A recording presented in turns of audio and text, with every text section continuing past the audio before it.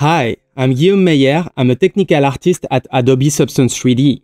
Today, I would like to present the new filters we added in the latest version of Substance 3D Painter. These filters will help you to achieve material effects such as beveling a mask with the bevel smooth, adding fluid drips to your models with the directional distance, or giving a stylized and painted look to your models with the stylization filter. So let's jump in Painter and explore the filters in more detail.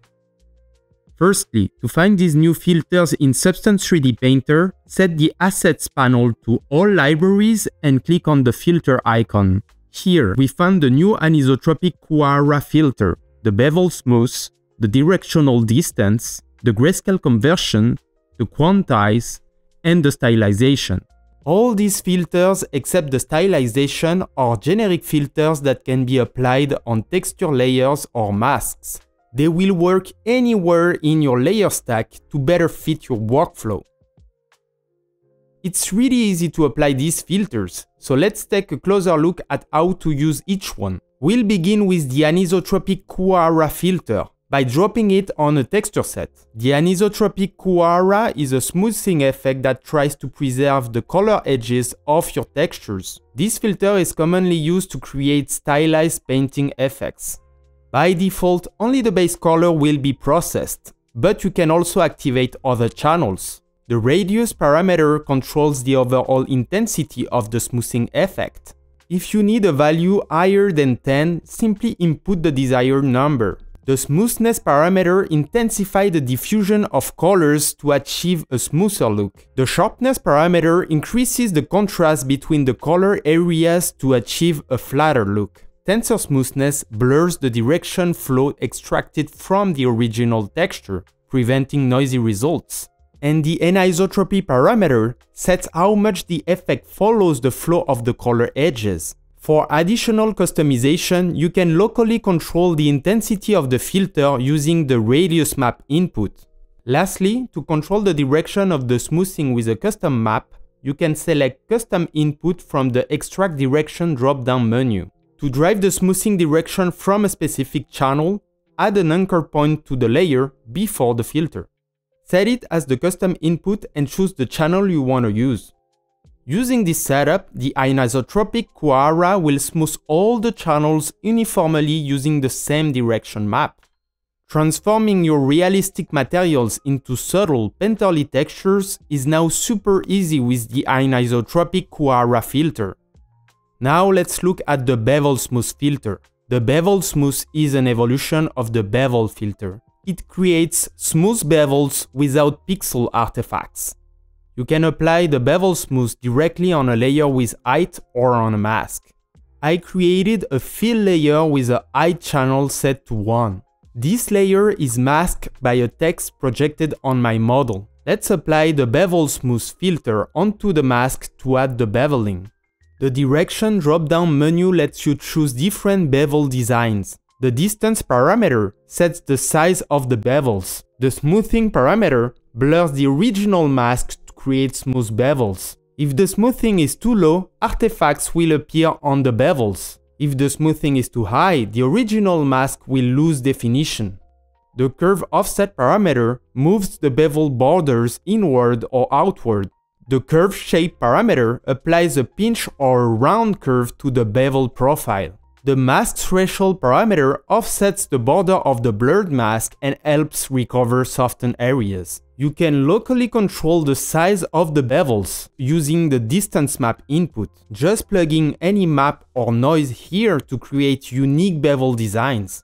The bevel smooth filter is designed to transform all sharp edges into smooth manufactured beveled edges.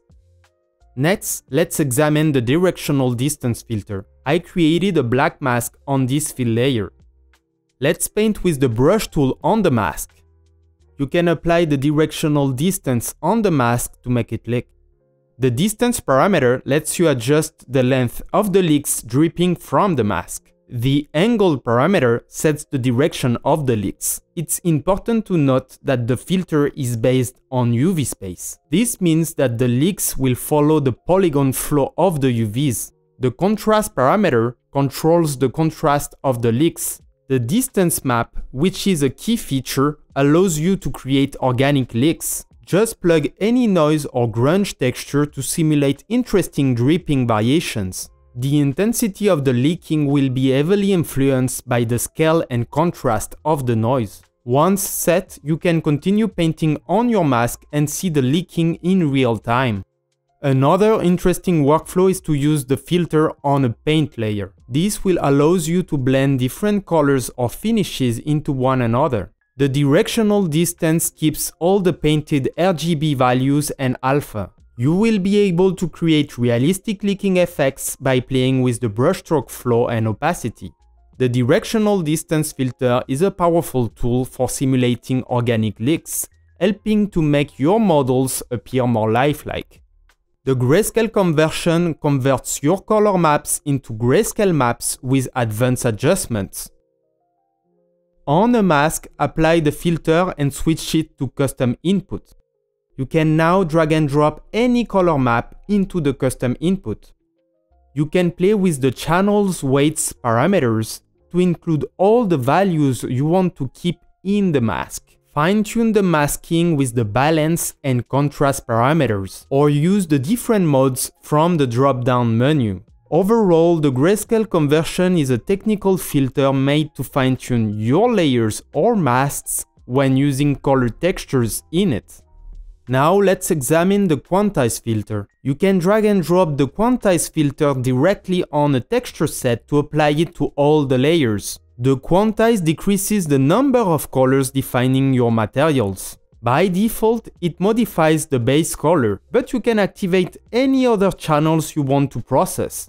The color amount lets you set the number of colors you wish to map on your texturing. Lower values will result in flatter, minimalistic look. Higher values will result in more detailed look. The contour smoothing lets you smooth all the color areas it will transform your texturing into unique flat vector illustration style. You can input values above 8 to get a stronger blocky look, but it will drastically slow down the filter. The dithering parameter applies a noise pattern to recreate the gradient from the original texture. Make sure the contour smoothing is set to 0 to see the effect. The distance color space mode depends on the material channel being processed.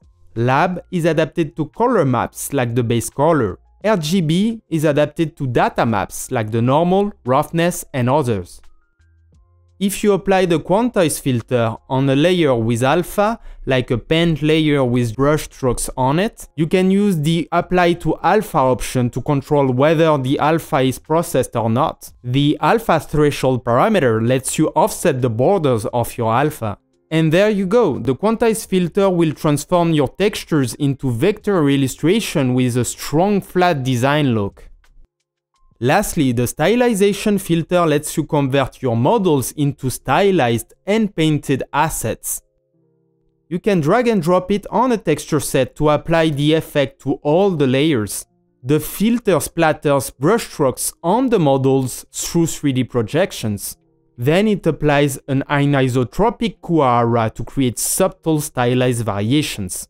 This filter has many options you can fine tune to get the stylized look you're aiming for. We recorded a dedicated deep dive tutorial about this specific filter so you can learn how to use it pro efficiently. I'll put the link in the description. Just remember that stylized asset can be exported from Painter to any game engine or renderer by keeping its unique and painted look. Here, for example, to do the final render, I loaded the entire stylized scene in Cinema 4D with Redshift. All the stylized features of the model will be baked and conveyed through the PBR texture maps.